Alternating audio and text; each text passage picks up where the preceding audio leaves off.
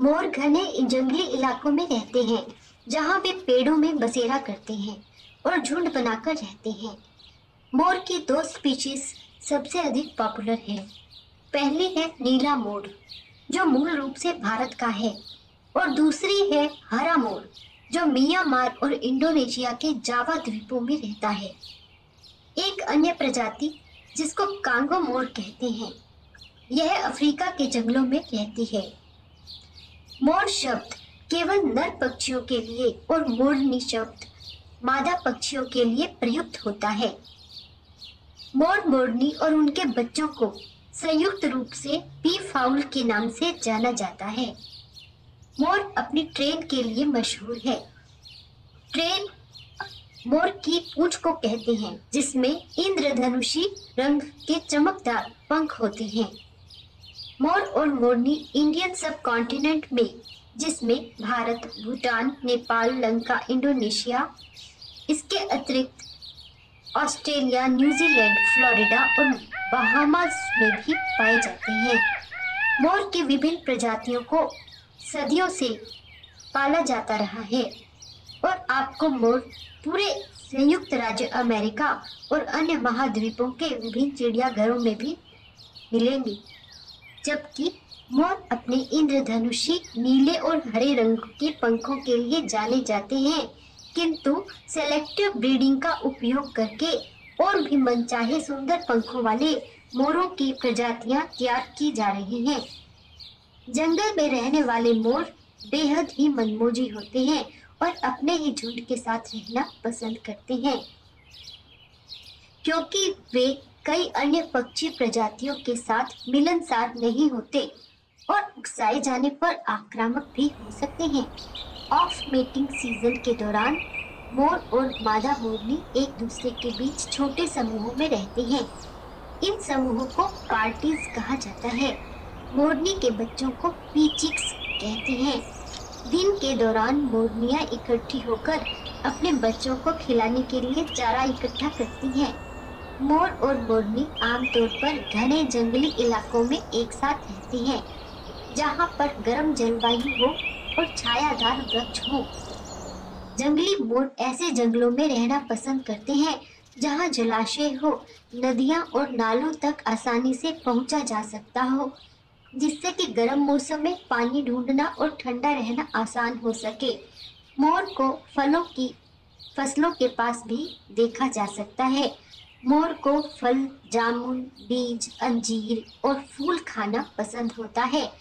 मोर उष्ण कटिबंधीय जलवायु को पसंद करते हैं और उनका आदर्श आवास सभी मौसम के जल स्रोतों के साथ आर्द्र वर्षावन होता है। मेटिंग सीज़न के दौरान मोर छोटे समूहों में विभाजित हो जाते हैं, जिसमें कई मोरनी और एक नर मोर होता है। मीटिंग का मौसम बसंत ऋतु में होता है और नर मोरों को अक्सर अपने पंखों को फड़फड़ाते हुए और मोरनी के लिए नृत्य करते हुए देखा जा सकता है। जब एक मोर अपने पंखों को फड़फड़ाता है तो इस प्रक्रिया के दौरान होने वाली कंपन ध्वनि से मोरनी खींची चली आती है।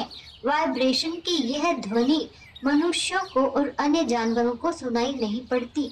लेकिन जब एक मोरनी इस कंपन को सुनती है तो वह तय करती है कि मोर को अपने साथी के रूप में चुना जाए या नहीं।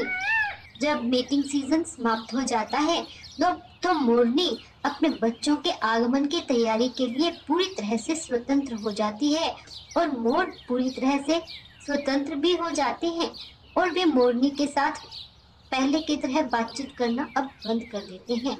जब अपने बच्चों को पालने की बात आती है तो मोर कोई ज़िम्मेदारी नहीं लेता।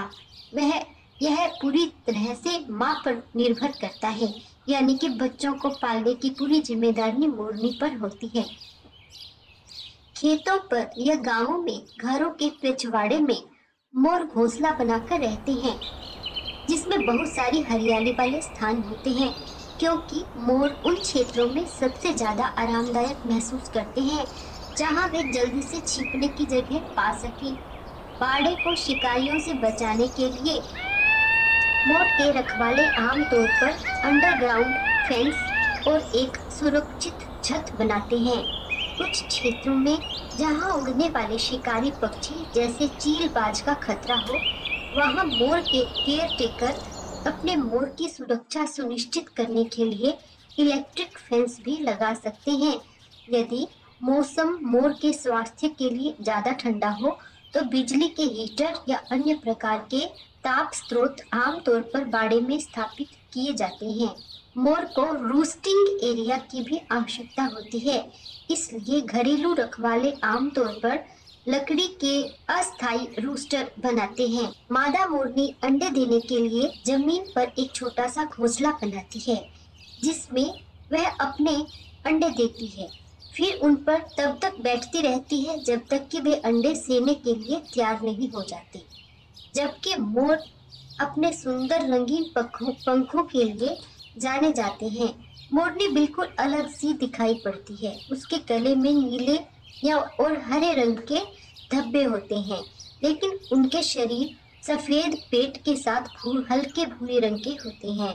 रंग में ये अंतर इसलिए होता है कि मुरली अपने बच्चों की देखभाल करते समय अपने आसपास के वातावरण के साथ आसानी से छिप सकती है और दिखाई नहीं पड़ती।